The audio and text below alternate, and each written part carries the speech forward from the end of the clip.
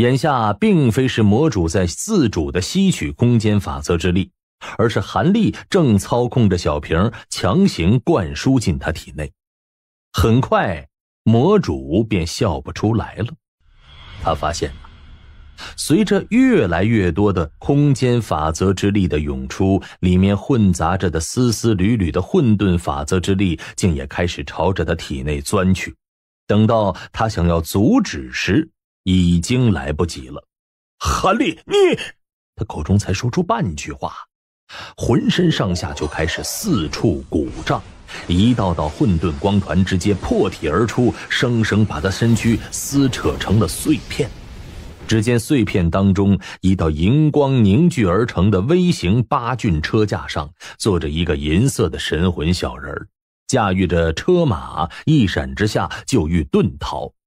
韩立轻叹一声。哎，你走不了的，相识一场，还是让我来送你一程吧。话音刚落，一层时间波动涟漪已经荡漾开来，虚空再次凝滞，八骏车架被禁锢了虚空当中，纹丝不动。韩立丝毫不受影响，迈步而过，很快来到了跟前儿。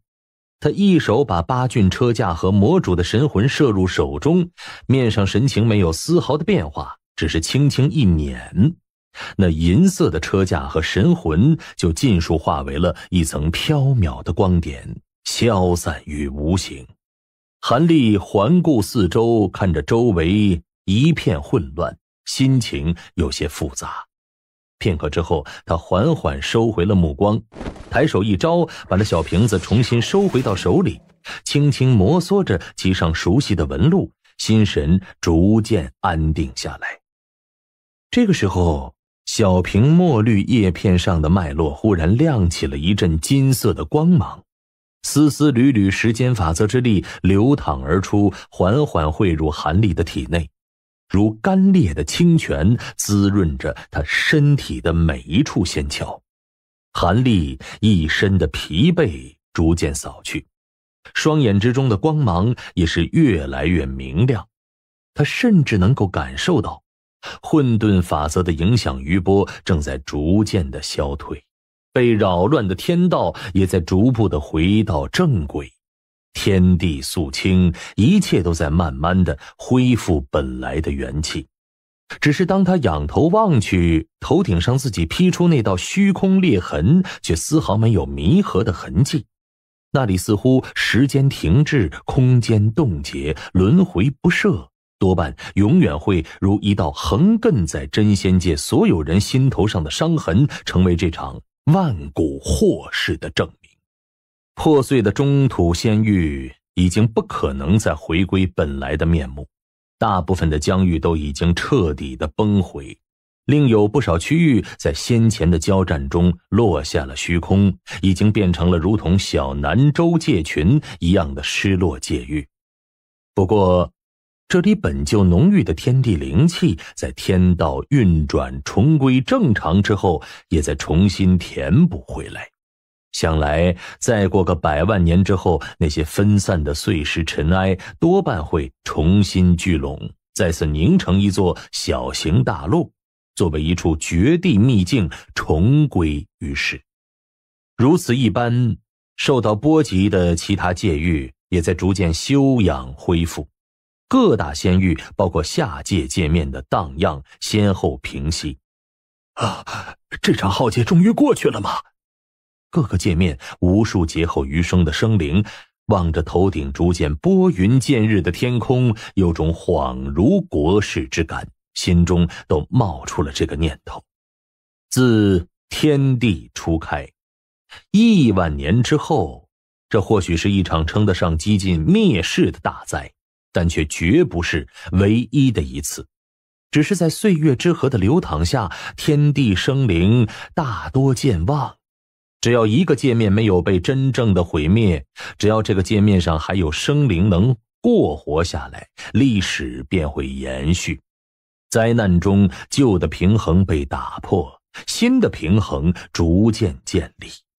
正所谓不破不立。往往一个新时代的到来，都是由灾难所孕育的。